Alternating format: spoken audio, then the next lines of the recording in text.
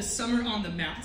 And uh, it's kind of, you can tell by the, the name of this, we're spending the summer in the Sermon on the Mount, which is probably Jesus' most famous of, of his sermons, of, of his teachings, uh, all throughout the Bible. The, the, Sermon on the Mount is not a collection of, of teachings and talks, it is one comprehensive, cohesive sermon that Jesus gives in front of a crowd of potentially thousands of people and in it, if you've read it before or you've just been tracking along through the series, there are so many incredible, profound things to pull out of this. Things to be inspired by, encouraged by, challenged by, and everything in between. And so we have been enjoying this. We're in week five now, which is crazy how fast we've been moving through this. And I want to read to you guys from Matthew 5, verses 17 through 20. And we're just picking up from where we left off last week. Last week we ended in verse 16, and we were talking about being salt and light. And I talked a lot about salt last week. I probably don't want to talk about it for a long time, ever again. But we learned through this that our, our faith, what did Jesus mean by you are the salt of the earth and you are the light of the world? What Jesus meant was that by being the salt, it means that your faith adds value everywhere you go. And being the light, it means that your faith must be visible everywhere you go. So we add value and our faith is visible. And we're not striving to have a faith that is visible so that people see us and honor and glorify us but that through us they see and honor and glorify Jesus. Right? So that they will see our good deeds and glorify our Father in heaven. So Matthew 5, 17, though, Jesus' uh, his teaching here takes a bit of a, a, left turn. Coming out of the Beatitudes, coming out of uh, the salt and light passage. And so I want to read to you guys from this. Verse 17, Jesus says this, Do not think that I have come to abolish the law or the prophets. I have not come to abolish them, but to fulfill them. For truly I tell you, until heaven and earth disappear, not the smallest letter, not the least stroke of a pen, will by any means disappear from the law until everything is accomplished. Therefore, anyone who sets aside one of the least of these commands and teaches others accordingly will be called least in the kingdom of heaven. But whoever practices and teaches these commands will be called great in the kingdom of heaven. For I tell you that unless your righteousness surpasses that of the Pharisees, and the teachers of the law, you will certainly not enter the kingdom of heaven. Now, what in the world do you do with a passage like that? And so let's pray before we preach so that the Holy Spirit can help me explain this. And then uh, we'll ask that the Holy Spirit would, would uh, preach uniquely to each of us. God, we just thank you for this morning. Holy Spirit, we invite you to use this word. Speak through me, God, to each and every heart. And Holy Spirit, I pray that you would preach uniquely Lord, what, what exactly do we need to hear individually in this moment and collectively as your body? Holy Spirit, we ask that you would work in us, convict us, and help us to become more like Jesus. We love you. We pray this in Jesus' name. And everybody said together, Amen. Amen. So, what I want to do today is I want to attempt to bring clarity to one of the possibly most confusing passages in all of the Bible. These, these four verses have confused and confounded people for 2,000 years. And so much so that different factions in the church, different denominations, have literally ar- like arisen from this passage of Scripture. People have gone different directions because there's not agreement at times as to what in the world is Jesus talking about here. This, this passage is loaded with stuff. I want to read this to you from Jonathan T. Pennington. He wrote a book called The Sermon on the Mount and Human Flourishing that I'm reading through as I progress through the Sermon on the Mount. And he said the compactness of this passage is at once its power and its difficulty. By virtue of its pithy, contrastive statements, we get uh, a large scale snapshot of the issue, but its brevity and super concentrated collection of weighty terms and ideas mean that every sentence is a spark that sets off a fire in a different direction. Like good poetry, this short passage is thick with meaning and in need of deep reflection.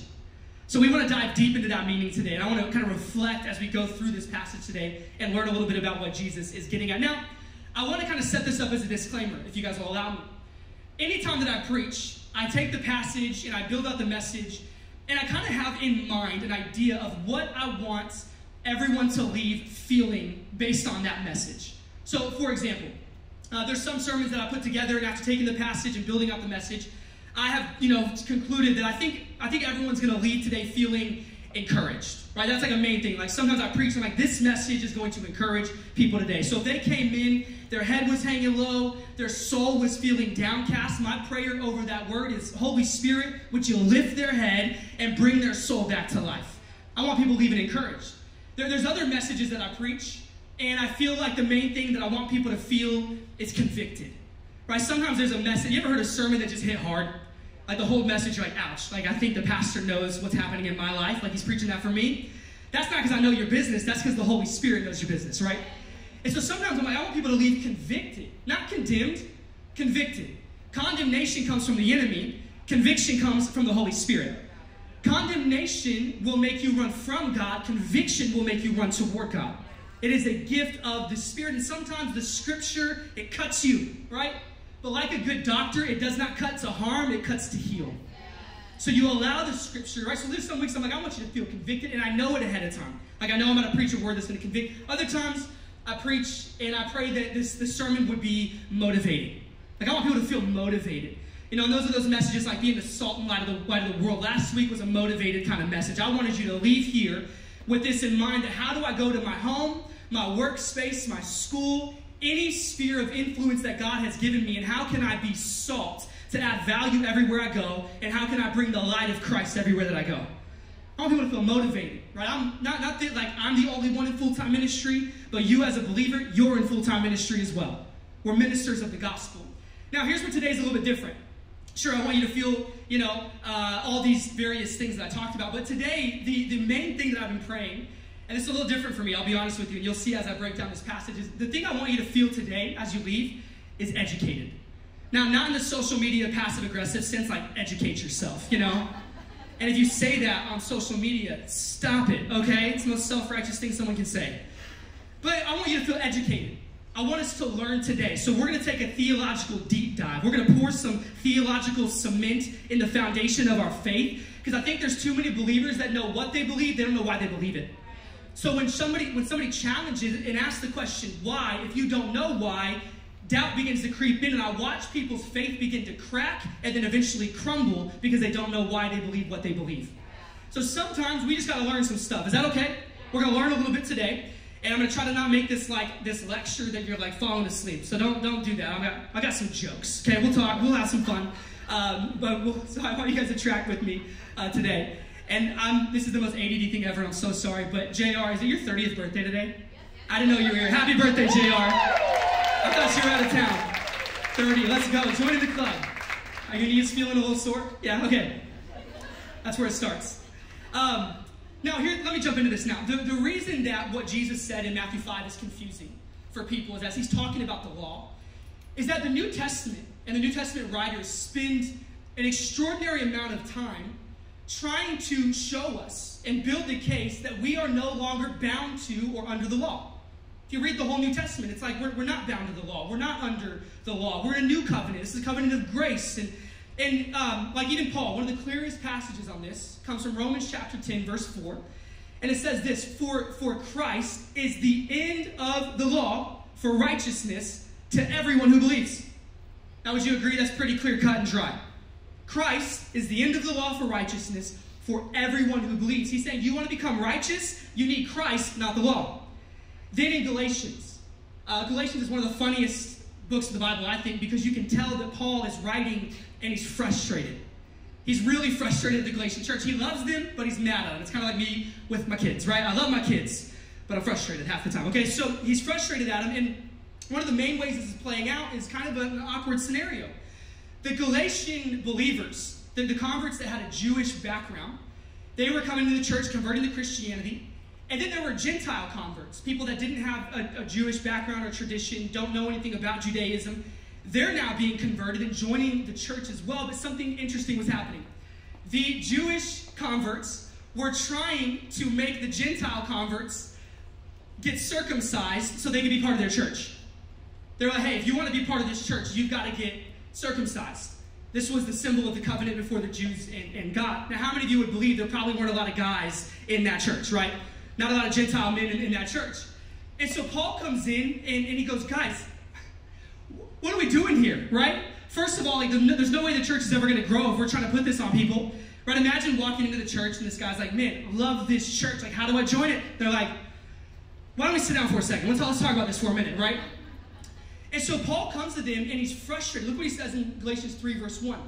He says, You foolish Galatians, who has bewitched you? Other translations say, Has somebody put a spell on you? Our modern translation of this would be, Have you lost your minds?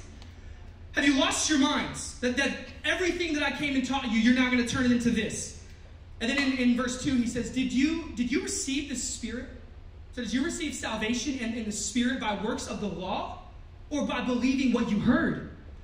This is a, rhetorical question. He's saying you, you received the Spirit of salvation because of the gospel message that I preached to you, not because of the law. Are you so foolish that after beginning by means of the Spirit, are you now trying to finish by means of the flesh? Then he goes on in verse 23 and he says, We were held in custody under the law, locked up until faith should be revealed. So the law became our guardian to lead us to Christ. Guys, the law was always meant to point to Jesus. That we might be justified by faith. Now that faith has come, we are no longer under a guardian. So Paul is building this case with this really awkward scenario that they found themselves in. He's like, guys, we are completely missing the point here. You are saved not by works of the law and going back to the law in which you've been brought out of, but we are saved by faith through grace alone. Right? So you need the grace of God through faith alone. So Paul gives these very clear, very strong words. And then we go back to Matthew 5 and we read Jesus' words, and it seems to contradict each other. So you go back to Jesus and talking about the law, Jesus goes, Hey, don't, don't think for a second that I've come to abolish the law and, the commandments. And he takes it a step further. He says, Whoever sets the, the law aside does not live according and does not live according to its commands are, go, are not going to enter the kingdom of heaven. It's like I didn't come to abolish this, and honestly, if you don't live according to it, you're not getting into the kingdom, either now in the present nor for eternity. And so, over the centuries, and you might be sitting here confused about this as well. Now, over the centuries, this has brought a lot of confusion and division. And there's been some different responses. One of those responses has been kind of what the Galatians did, where people have created this hybrid Christianity Judaism religion, where they look to Christ for salvation, but then they still attempt to follow the Old Testament laws to keep themselves righteous and justified before Him. Right? So, this kind of this hybrid thing that they put together, which is a, a very confused version of Christianity because it says something like this I trust Christ for my salvation, sort of. I kind of trust him. But then I'm going to do all these other things to just like make sure, just in case, like we're not misunderstanding what Jesus is saying here in Matthew chapter 5. Another theory is that some people I read this week actually think that Matthew made this up. Jesus never even said this in Matthew. He was a tax collector. You can't trust those guys anyway. He just made this up. He just put it in for whatever reason. Others conclude that Jesus just didn't really mean it. Like maybe Jesus is kind of like my wife, where sometimes what she says is not exactly what she means. Any married men in the house? Okay? If you're going to get married at some point, you need to understand that. What she says is not always what she means. So maybe, maybe that's what Jesus is doing here. Um, there was a, a well known second century heretic by the name of Marcion. And Marcion, he dogmatically believed and he taught that Jesus came to dismantle the law and the prophets. Like he, this is what he believes. Like no, Jesus came to destroy this. So much so that Marcion rewrote the New Testament. And in his rewriting of the New Testament, he got rid of every reference to the Old Testament. Anytime they quoted it or mentioned it, just wiped it out. It's like, no, it doesn't exist rewrote it, and then when he got to this part of the Sermon on the Mount, he actually didn't take it out, he changed it. And it said it read like this: I have not, I have come not to fulfill the law and the prophets, but to abolish them. And he kind of developed this cult following, you know, of people that just were like, oh, like I love this version, this is so much better. I, I had the thought this week that Marcion would have made a great modern day TikTok theologian. If you get theology from TikTok, like you're in trouble. Let's just start there for a second. But I watch this happening all the time. People taking, they sound smart, they put a little bit of music behind it so it sounds believable. And they're not just giving an interpretation of Scripture, they are completely changing and thwarting Scripture to fit their agenda. this is what Marcion does. So for us today, I think rather than rewriting Jesus' words, I think a better choice would be to try to better understand his words. So let's dive deep for a moment. What in the world is Jesus talking about? So I want to start by asking, what did Jesus mean by the law and the prophets? He said, I, I did not come to abolish the law and the prophets. And if you guys want to put the slide up on the screen, this will show us what this looks like. So what did he mean by the law? The law is the Pentateuch. Okay, this is the first five books of the Bible. Does anybody know them? Genesis, Exodus, Leviticus, Numbers, Deuteronomy. Thank you, Kids Church, right? Remember all this, like, you got songs for this stuff. These first five books of the Bible, this is where we find the Ten Commandments. It's where we find the 613 laws within the Old Covenant. So if you want to abide by the laws of the Old Covenant, you got 613 you got to keep up with. I can't even get parking right in this city, so I have no hope in following these laws, right? 613 of them, the first five books, the story of Israel, the covenant with Abraham, the exodus out of Egypt, all of this is wrapped in these first five books. Then you have the prophets. It's actually really significant that Jesus didn't just say the law, but he also said, and the prophets. Because what this adds in is everything believed to be, uh, the rest of Jewish scripture, everything to believe, believed or spoken by the prophets. Everything they wrote about, the historic, poetic, and prophetic. So Jesus then pulls in all of the Old Testament writings. I love the way John Stott puts this really clearly and simply. He just said, The law was a comprehensive term for the total divine revelation of the Old Testament. So Jesus essentially is saying, I did not come to abolish the Old Testament, but I came to fulfill it.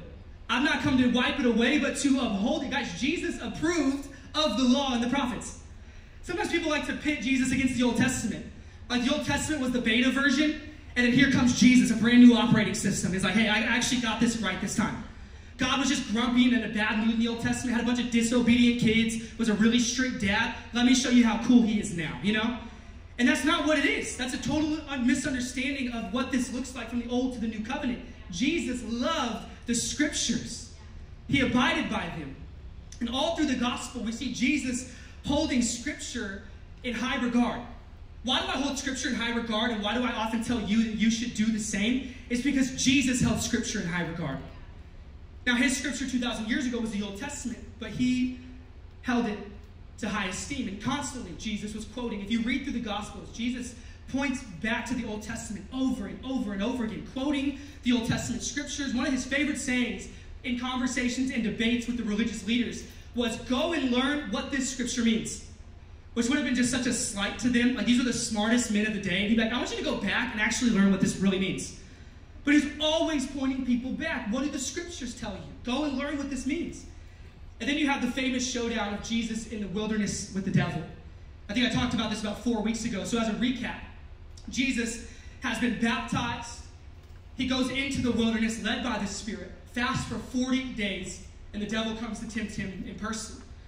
And he tempts him three times. And, and here's what's fascinating about how the devil tempts. And, and I mentioned this, so this is again just a little bit of a refresher for most of you guys that were here. Now, the Bible tells us that the devil is the father of lies, that he has no truth in him, that when he lies, he speaks his native language. What's wild to me is that the devil comes to Jesus, and he also does this in Genesis in the garden. The devil comes to him and he quotes God. He quotes Scripture. So, something you have to understand is that the enemy knows Scripture better than you do and he knows it better than I do. However, to quote scripture accurately would be would mean that you are speaking the truth. So he cannot quote scripture accurately. He always quotes it with a twist or some kind of lie hidden underneath.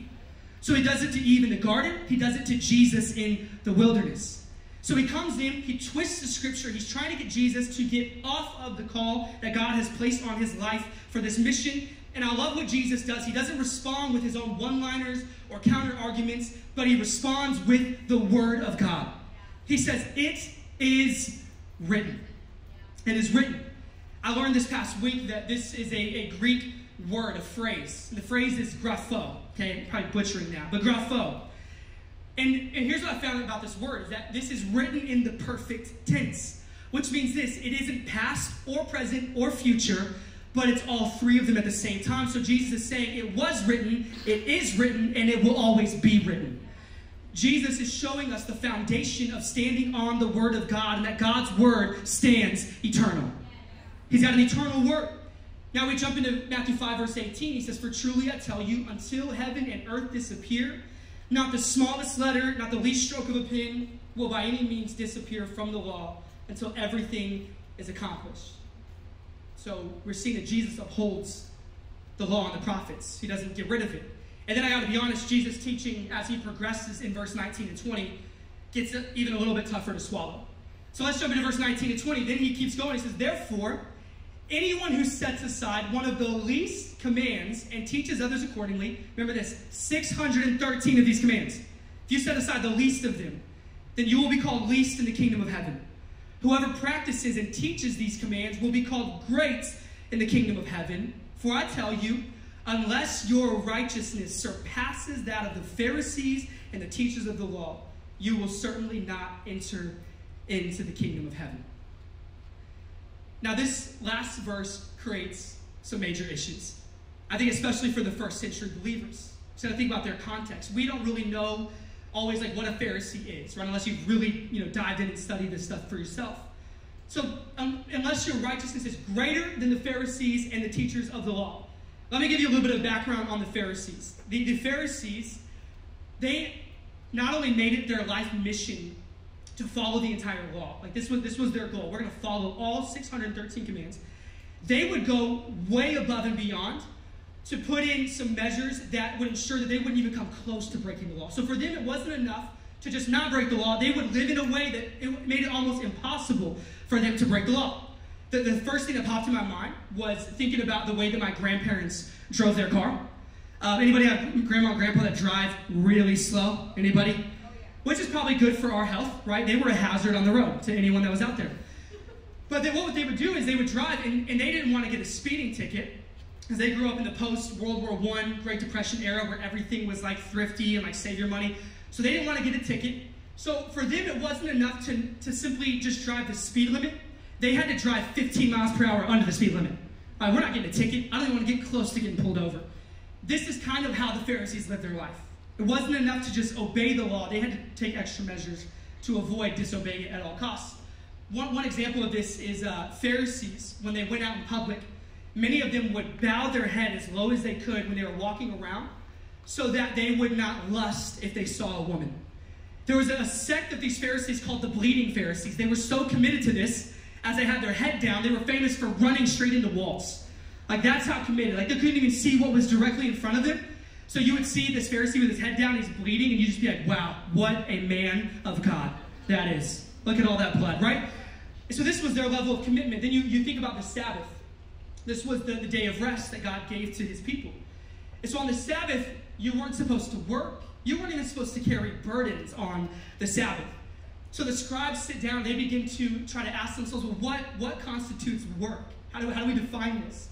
And what, like, how heavy of a burden are we allowed to carry? So they determined this that not only could you not work on the Sabbath, but the heaviest thing you were allowed to lift was a dried fig. That was the heaviest object you could lift on the Sabbath. And this is how these guys lived their life. And I imagine one of these Pharisees, their little kid, is like wanting to be picked up on the Sabbath, like, hold me, dad. And he's like, not right now. Like, go find your mom. Like, this isn't going to work. And, and so uh, William Barclay says this. He says, the scribes were the men who interpreted the rules and regulations the Pharisees, who whose name means separated ones, were the men who had separated themselves from all the ordinary activities of life to keep these rules and regulations. So, this is what the first century listeners would have had in mind. These guys who, who don't just try to live holy, but they live an extraordinarily strange life in their efforts to live a holy life. And Jesus says, unless your righteousness goes way past theirs, you're not getting into the kingdom. And so they're like looking at Jesus, like, what in the world are you even talking about? Like, how, how is this possible? No one can, can live up to this standard. I heard a pastor say it like this one time. He said, if this was in our modern context, this would be kind of like Jesus saying to you, hey, in order to get into the kingdom of heaven, you have to be really fast. You gotta be really fast. The question that you would ask next is probably, you know, well, how fast do I need to be, Jesus?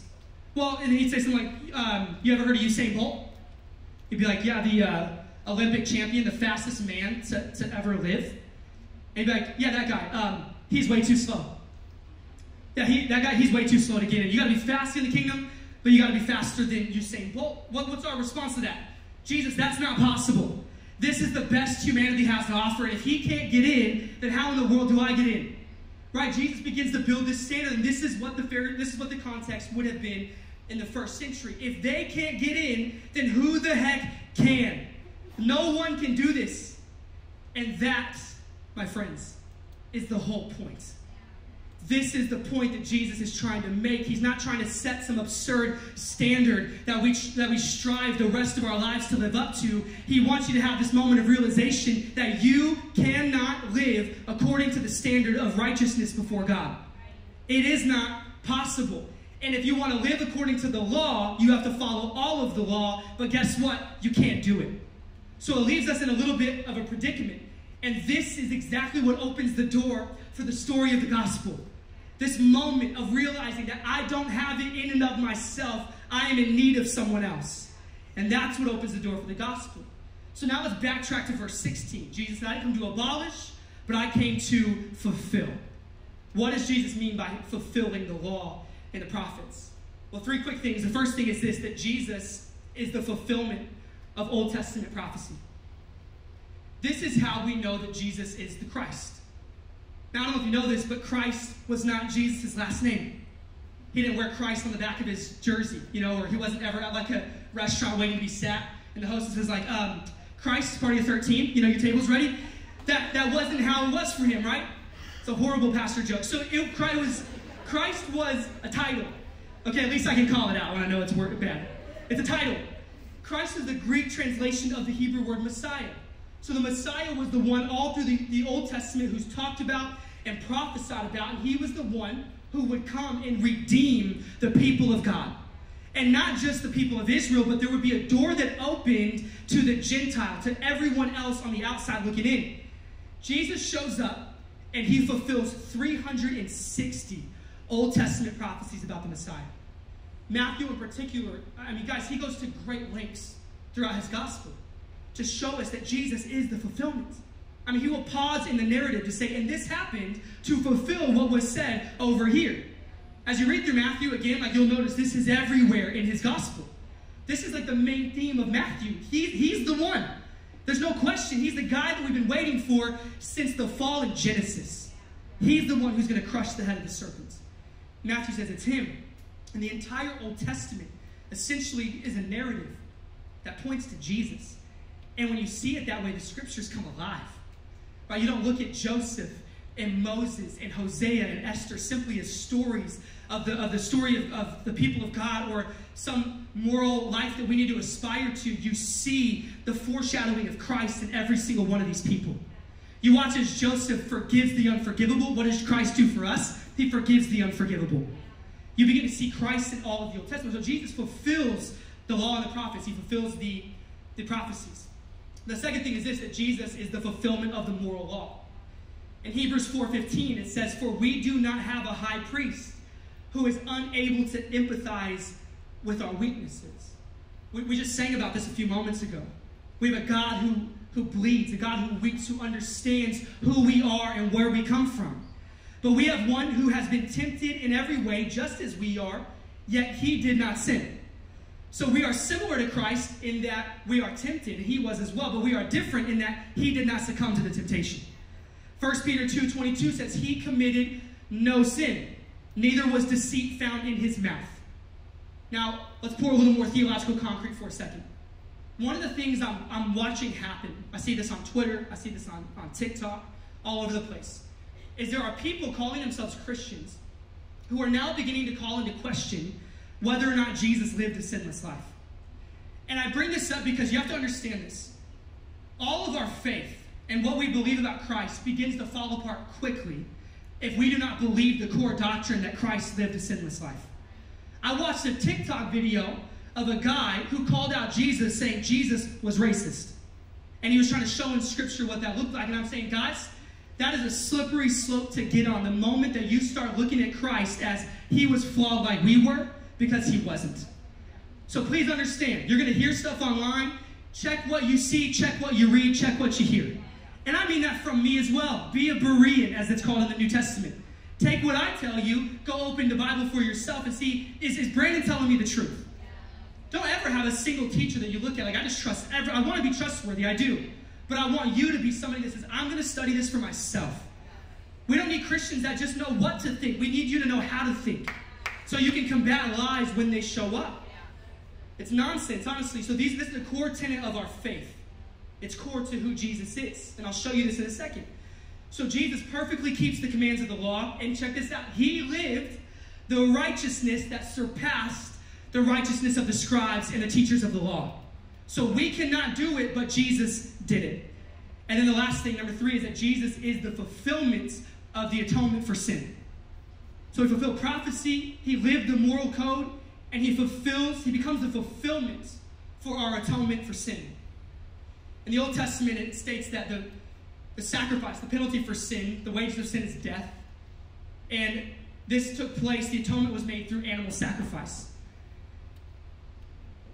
Now, this is kind of interesting to think about and look at. So you go all the way back to Exodus chapter 12. The wages of sin is death. In Exodus 12, it says that the lamb, it would be a lamb that was sacrificed for sins, and the lamb that was sacrificed was to be unblemished. Which meant this you could not walk out to your field or your flock and go, look at like the old one, it's like 19 years old, it's laying down on its last leg, and be like, let's kill that one, right? No, that didn't work like that. Jesus I want you to get the best one and one that is without spot, without stain, unblemished.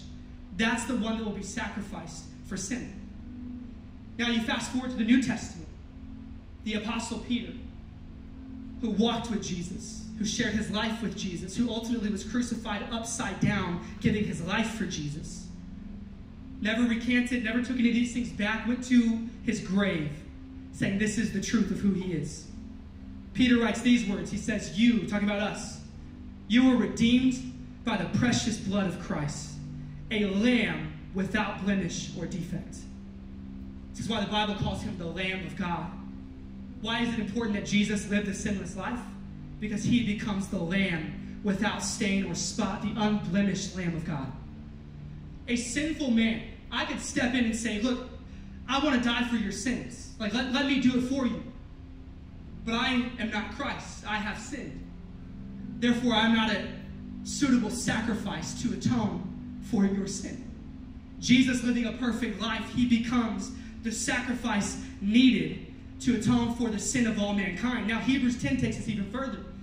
And it says in verse 1 that the law is only a shadow of the good things that are coming, not the realities themselves. For this reason, it can never, by the same sacrifices repeated endlessly year after year, make those perfect who draw near to worship. So you're saying these sacrifices that were being made in the Old Testament, they would, what we're going to find is that they would cover sin, but they would not remove sin. So he said, you, you would sin, take the lamb, sacrifice it, and then the next month, the next year, you're having to do it again. Over and over, year after year, having to pay the penalty for the sin. Then in verse 11, he says, This day after day, every priest stands and performs his religious duties again and again. He offers the same sacrifices, which can never take away sins. But when this priest, everybody one time say this priest. When this priest, talking about Jesus, had offered for all time one sacrifice for sins, he sat down at the right hand of God. Which I love this picture because you don't sit down until the work is completed. So he completes the work, sacrifice made, it's good once and for all, and he sits down at the right hand of God. And since that time, he waits for his enemies to be made his footstool.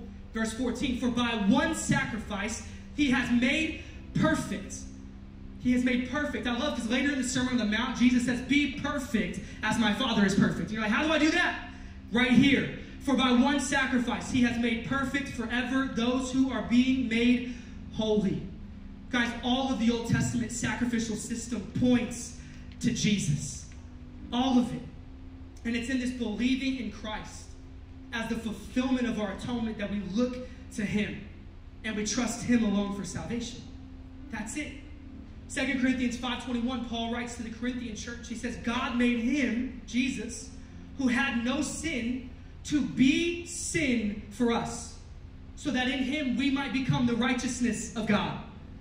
So the sinless literally became sin. He wore mine and he wore yours on that cross. He took the penalty of death that we deserved. And I love this phrase that he gave Jesus what he did not deserve so that we could receive what we do not deserve. Jesus didn't deserve death, he didn't deserve the cross. But we also don't deserve grace and we don't deserve mercy, but that's the scandalous nature of grace and of the gospel. Christ got what he didn't deserve so that we could receive what we do not deserve. So, through all of this, what you begin to see is that Christ upholds the law and subsequently fulfills the law. He does it, He fulfills it, He completes it. And He says, This law that you couldn't obey, I will obey it for you. Let me obey it for you. Well, let me illustrate this like this. Have you ever been uh, guilty by association before? This happened to me um, in the seventh grade. I was in language, arts, and literature class, Miss Andrews. This was 2001. And we're sitting at this table. It's me and three other people. That's like the, the nature of the classroom setup. And we're taking this test, and I notice that the other three people at the table are passing around this piece of paper, and they're sharing the answers with each other. My first thought was, how come nobody's passing that over here? But they weren't sharing it with me, okay? I'm taking the test.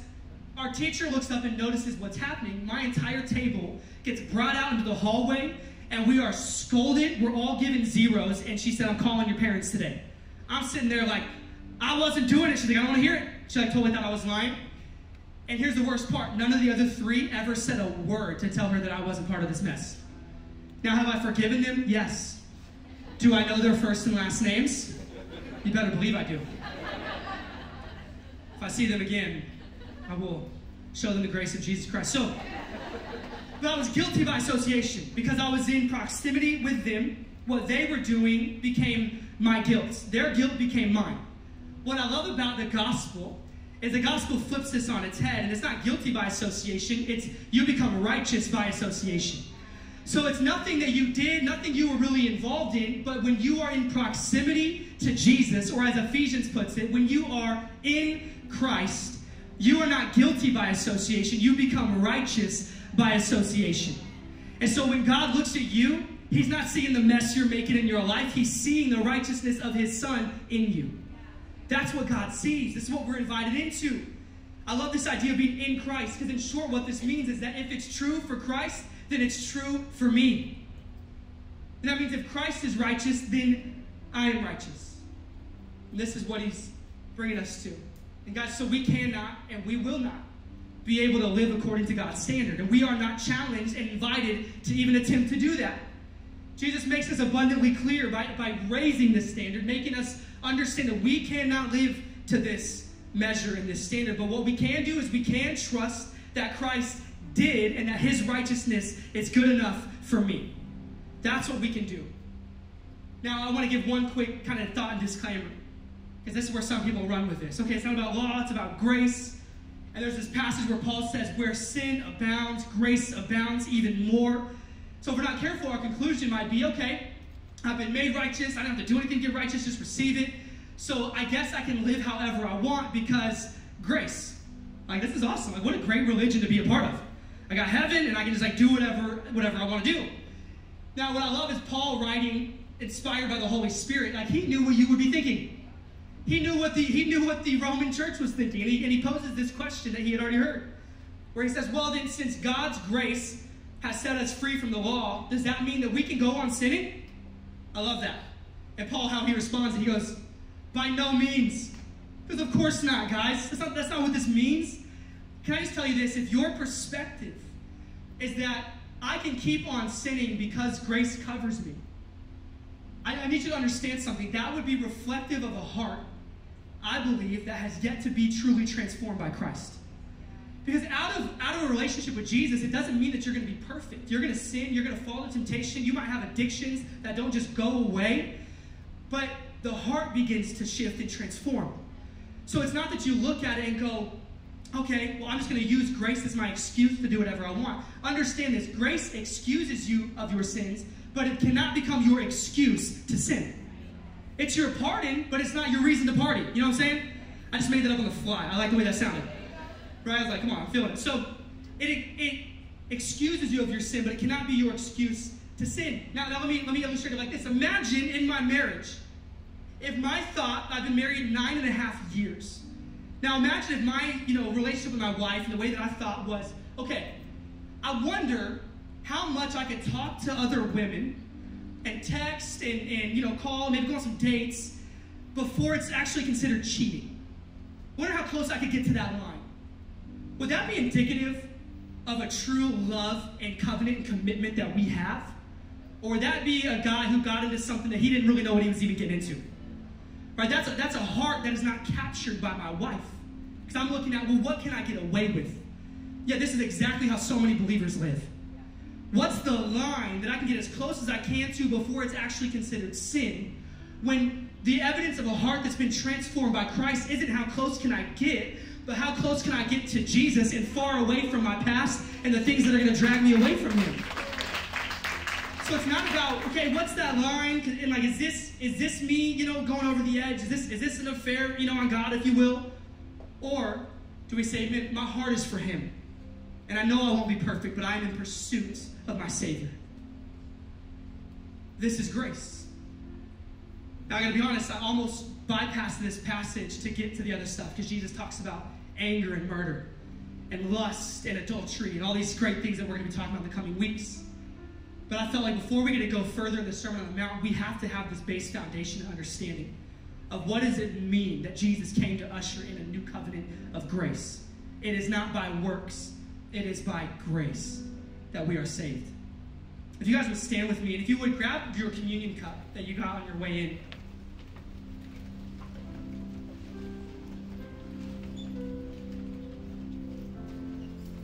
I want to end today kind of just with a moment together as a family where we can take communion together. And I think what a great way to end this message. Because in the Gospels, when Jesus sits down with his disciples at the Last Supper, this was the night he would go to the garden, he would be arrested, and he would be crucified in the early morning hours of that night. He fully knew this. He sits down with his disciples at the table, and he begins to do something really kind of strange and unexpected. And he takes a, a cup he pours the wine into it, and he says, he says to them, This is my blood, which is poured out for you. Now, I understand they don't have context for this in the moment, so they're like, what is this guy talking about? But he says, This is my blood that is poured out for you. And it is a symbol and a sign of the new covenant, the new age that I'm going to be bringing about tonight. Then he takes the bread and he breaks it and he shares it, passes it around. He says, Take and eat. This is my body, which is broken for you. In the Old Testament, it tells us that by his stripes, we are healed. His broken body is the very reason that our physical bodies can still experience healing today. So his blood doesn't just cover our sin, it removes it. And his broken body is what allows us to see God active in our lives, healing our physical bodies.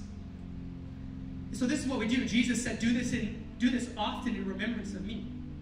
He wanted the church to come together, maybe in this kind of a setting, but also you can do this in your homes. You can do this with your husband, your wife, your friends. You can take communion together. We said just do this often because I want you to remember. How many of you guys know there's power in remembrance?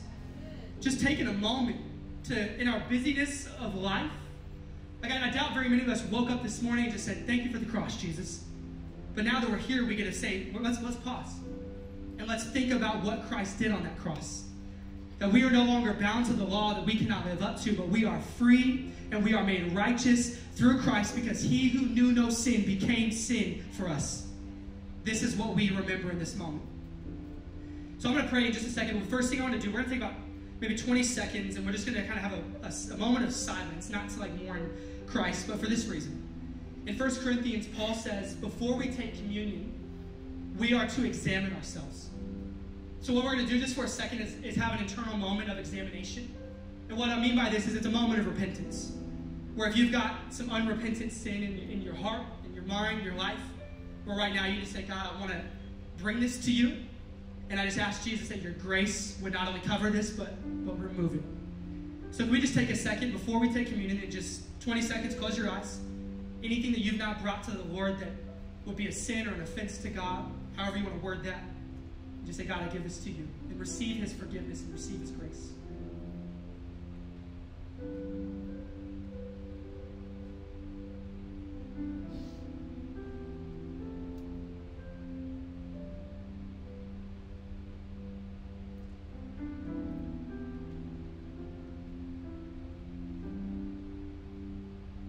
Let's pray over these elements. We'll pray for the cup first. We'll take that together.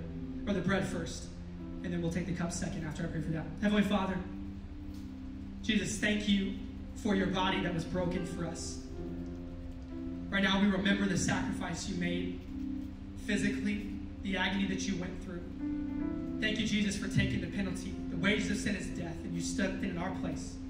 And thank you, Jesus, that by your stripes, by your broken body, our bodies can be made well. By your stripes, we are healed. We thank you, Jesus. We're grateful. We pray this in your name.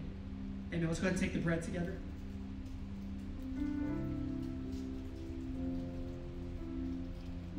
Let's pray, pray over the cup.